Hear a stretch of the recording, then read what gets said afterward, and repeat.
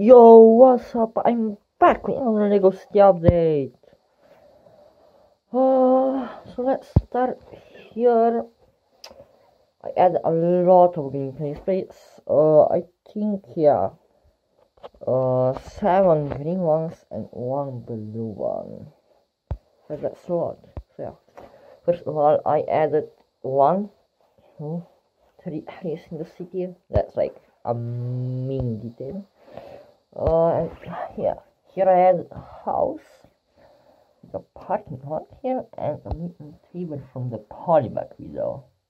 So here you can see a road it goes here, here, here, here, here, here, but you can go right here, and I do here a parking spot for like a lot of cars. But for now, you can go here. You can hear what. So here you can see a little ocean, if I can say so. Yeah, a little bit here area, bit area. Uh, oh, uh, here. Uh, I hit a surfer from the also back video. Uh, ideal place of color, but yeah.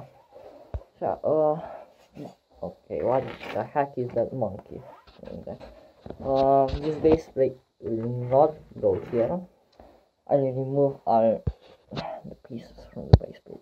So, and also, I have another good news. I got another base plate. So yeah, you can be a lot more.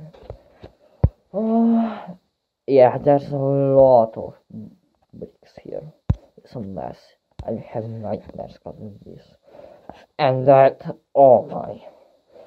So my idea is that I place one base plate here and another one here and the pyramid somewhere here. So yeah. Uh, there's hang Alex here so that will maybe be a problem.